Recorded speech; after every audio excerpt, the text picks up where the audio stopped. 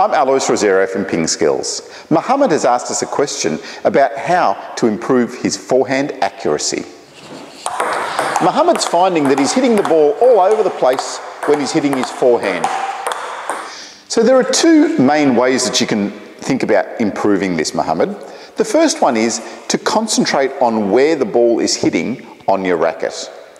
You can do this every time that you start your warm-ups with your forehands. So as you're warming up with your forehand, you don't need to look at the spot, but I want you to just feel where it's hitting on your racket.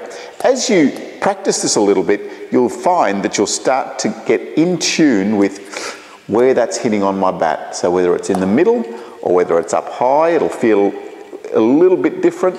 In the middle will feel quite sweet, and that's why they call it the sweet spot. So that's what you're aiming for, trying to get that ball right in the middle of your racket. You can get the feel of it by just bouncing the ball on your racket and just feeling what it's like when it hits different spots. So in the middle, off to the side, right at the end, near your handle, just to get the feeling of it.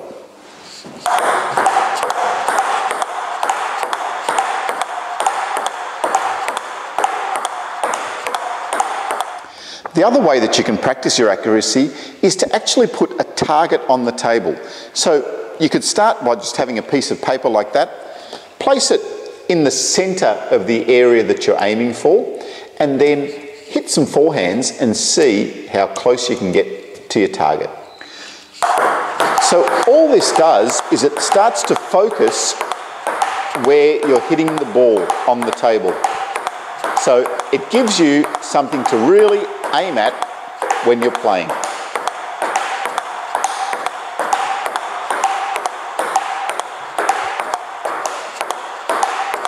So Mohammed, try these two methods and see if it improves your accuracy.